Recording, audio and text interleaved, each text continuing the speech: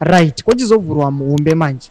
Nhau yakaitika muzvara ranezuva tikaona kuti minista mavetera hamene kuti vaiva out of mind here kana kuti vanga vasingafungi pavanoita epost yavakazodhilita but mupost iyoyo vakanotokonya mutungamiri wenyika yekuzambia zvaizoincluda nemutungamiri wenyika vemasondamzwa manangagwa saka mena mashoko anouya panapa achibvunziwa namaere unobva wasubscribe olike utina on the bell icon. Fadzai maere anouya anoiona post iyo pahendo najoseph kalimbo notanga atora screenshot onyora achiti ndiye minister uh, tate mavetera why did you call his excellency akaende hichilema a security threat? Why did, what did you mean on whose behalf were you speaking? Surely such undiplomatic and unparliamentary language is beneath your office as a member of cabinet. Does Mo at mofa zimbabwe approve of your messaging?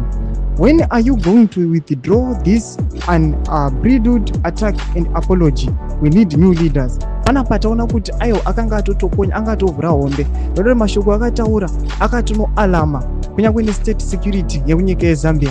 Achiti panapa uh, hakaende ichilema is security threat munyika yezimbabwe. Mashoko aya anoreva zvakawanda.